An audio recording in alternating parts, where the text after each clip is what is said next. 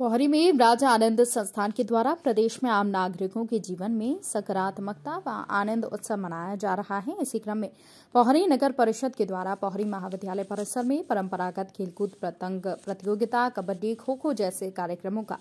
आयोजन किया गया, जिससे लोगों में खेल के प्रति बड़े, भावना बढ़े और परंपरागत खेलों के प्रति लोग जागरूक हों। राज्य आनंद संस्थान की ओर से प्रत्येक वर्ष जनवरी में, चौदह जनवरी से अट्ठाईस जनवरी के मध्य आनंद उत्सव का कार्यक्रम